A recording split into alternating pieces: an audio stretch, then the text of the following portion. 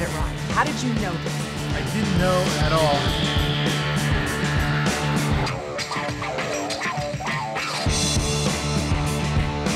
Don't mess around with a man in his car or his dog.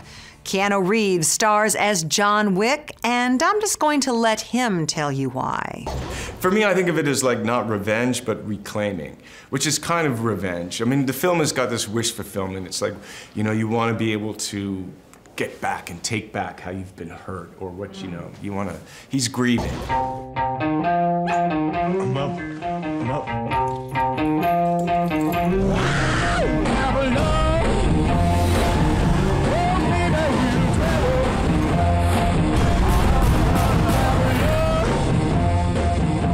You like that, huh?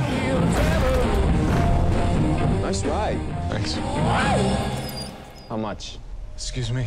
How much for the car? She's not for sale. You have good day, sir. Daisy.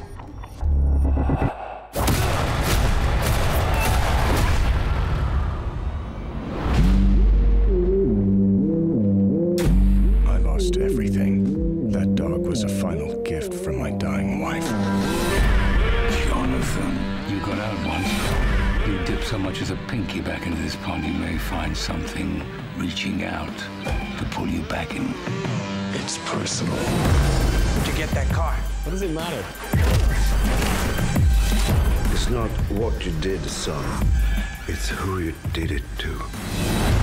You rock the three piece suit. Oh, thank you. I like that, but it was kind of interesting because then as you became your old self, you got rid of the vest. Yeah, the vest. That was kinda kind of starts- interesting, you know? He puts I on the noticed that. armor, he puts on his suit, and then it starts to kind of break down, and he's getting broken down in, Now the, in, the, in the struggle. We didn't see you smile too much, though. You know?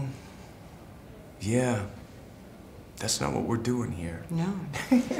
Violent, bloody, gut wrenching, and once I got past the dog part, I actually liked it. Look for John Wick in your Reel Time theater.